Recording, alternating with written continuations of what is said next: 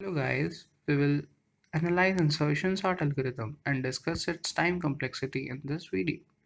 So the time taken by insertion sort would be dependent on the input because sorting 1000 numbers takes more time than sorting 3 numbers. Moreover, it's gonna be dependent on how the input is sorted. That is, the sequence of elements 4321 would take more time to get sorted than the sequence of elements 1234 that is we discussed in the previous video. But the running time of the program grows with the size of input. So we describe the running time of the program as a function of its size of input. And the running time of the algorithm on a particular input is the number of primitive steps executed in that algorithm. We will discuss this. Now we're gonna make some assumption. Assumption would be the constant amount of time is required to execute each line of the pseudocode in the algorithm. For example, ith line of the pseudocode would take ca time of execution. Now let's see the pseudocode and analyze the time complexity of insertion sort. As we said, each line would take constant amount of time. That is, the line first would take amount of time c1 to get executed. Similarly, line 2 would take C2 amount of time to get executed. Similarly, seventh line would take C7 amount of time to get executed. And we will just see how many number of times each line is being executed so that we would if we multiply the cost and the number of times each line being is being executed if we multiply them and sum them all up we will get the total time that is total number of steps taken by this algorithm this is what we have to determine. So the line first would be executed n number of times. Why n number of times, not n minus 1 number of times as j is being run from 2 to n. But whenever we have a for loop or a while loop, this line is being executed one more time than the loop body. Why? Because we have to met a condition to make this for loop run. So it will go till n plus 1 then only it will determine that the condition for for loop is not being met and we have to get out of the for loop. So this line would be executed n number of times. This line would be executed n minus 1 number of times. This line would also be executed n minus 1 number of times. Now getting to this line, this line would depend upon the value of j. That is, for j equals to 2, how many number of times the while loop is being executed. Similarly, for j equals to 3, how many number of times the while loop is being executed. So we denote tj as the number of times the while loop is executed for a particular value of j. So this line would be executed as t2 for j equals to 2, t3 for j equals to 3. So it would be sum of t2 plus t3 plus t plus tn. So it would be summation j2 to n tj. Now it is inside the for loop. As we said, this line would be executed one less than the this line. So it would be summation j2 to n tj minus 1 and this would be summation j to n 2 to n tj minus 1 now the line 7 is inside the for loop. So it would be executed n minus 1 number of times the total time taken by these steps would be the cost of each line times the number of times each line being executed.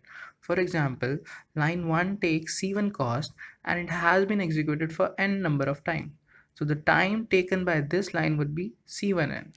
Similarly, for line 2, it would be C2 n minus 1.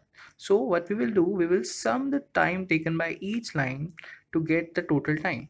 So it would be C1n plus C2 n minus 1 plus c3 n minus 1 plus c4 summation tj plus c5 summation tj minus 1 plus c6 summation tj minus 1 plus c7 n minus 1 so this will be the total time taken by these steps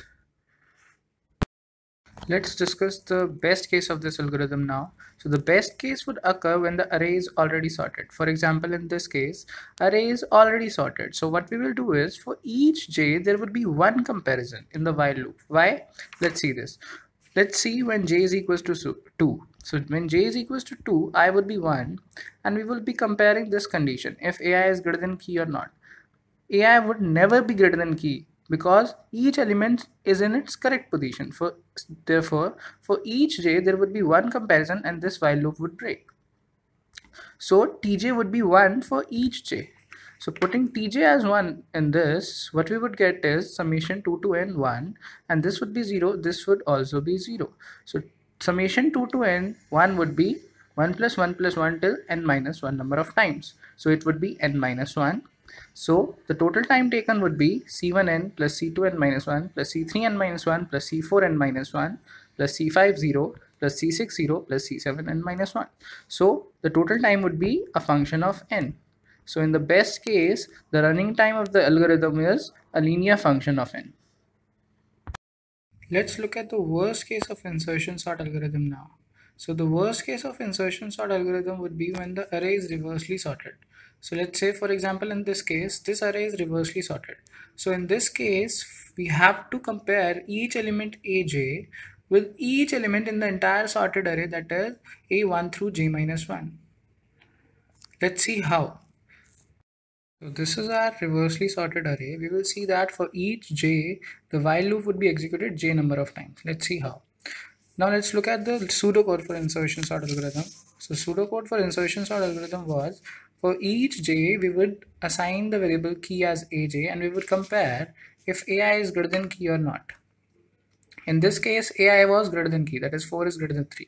So what we would do, we would move the elements, that is ai plus 1 would become ai and i would be decremented. Here i would be 0. Now this while loop would break because this condition is not being met now.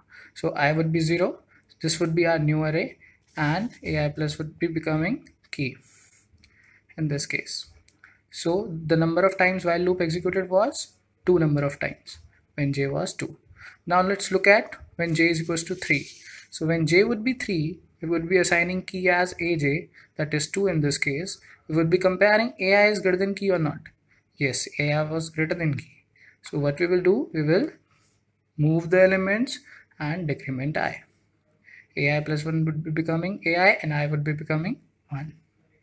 Now we will again compare if ai is greater than key or not.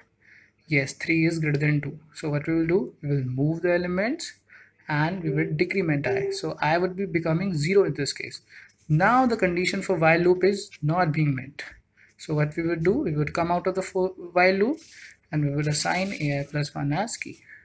So ai plus 1 would be becoming 2 so this is our resultant array from this so in this case when j was 3 the while loop executed three number of times. So for each j, the number of times while loop would be executed would be j number of times. So in this case, tj would be j for each j.